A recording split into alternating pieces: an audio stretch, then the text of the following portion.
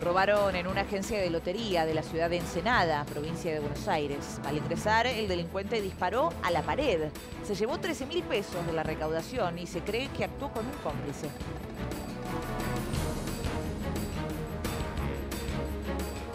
No, algo así como la plata, o dame la plata. o- Yo creí que se trataba de una broma, bueno, dale, empezó a sacarla, le digo. Y lo que sacó fue el arma y me disparó.